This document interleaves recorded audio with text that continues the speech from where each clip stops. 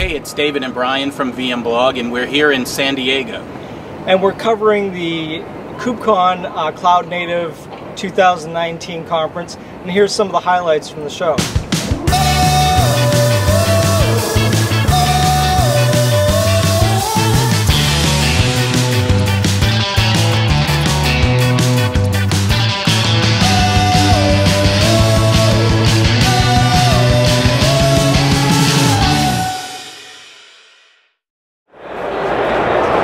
We're here at KubeCon 2019 and we're in San Diego and we're visiting with uh, MacStadium.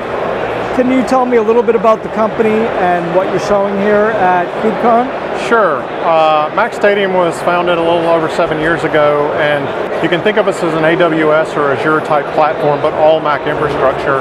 Our purpose really is to provide Apple infrastructure at scale as a true cloud and that's that matters because people who do iOS and macOS builds uh, really don't have a good avenue for infrastructure at scale. Now, how we fit into KubeCon is a little bit of an interesting story and journey.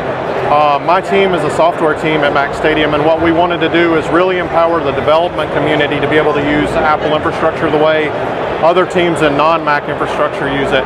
So we developed a platform based on Kubernetes and Apple hardware that actually containerizes Apple OS and lets you orchestrate it with Kubernetes on your own personal clusters on Apple infrastructure.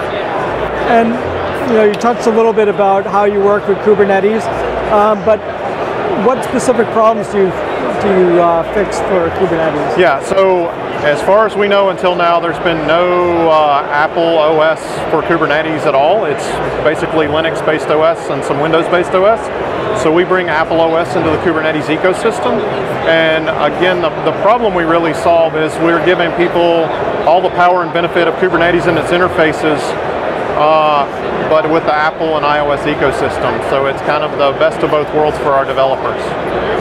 And uh, I understand you had some announcements around the show. Maybe you can tell us a little bit more about what you announced. Yeah, so our platform is called Orka. It stands for Orchestration with Kubernetes on Apple.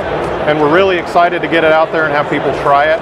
So one of the things we built was a automatic cluster creation tool that lets you demo it for a short period of time. So if you go to tryorca.com, you can log in and we'll send you a token. It'll spin you up your own personal cluster and let you use the tools and play with them and see how it really works. And you mentioned that they could go and try that out. Is there anything else, you know, if they want to find out more information about MacStadium or maybe get in touch with you guys, uh, what's the best way to do that? Yeah, uh, it's really easy. You can go to macstadium.com, and if you want to specifically focus on the Kubernetes and Orka piece of it, macstadium.com slash Orka gives you uh, uh, full access to our documentation, our REST APIs, and all the tools and technology and use cases around Orka, and it's a really good way to find out what's going on. Well, thank you for taking the time to speak with VMblog. Thank you. We appreciate it.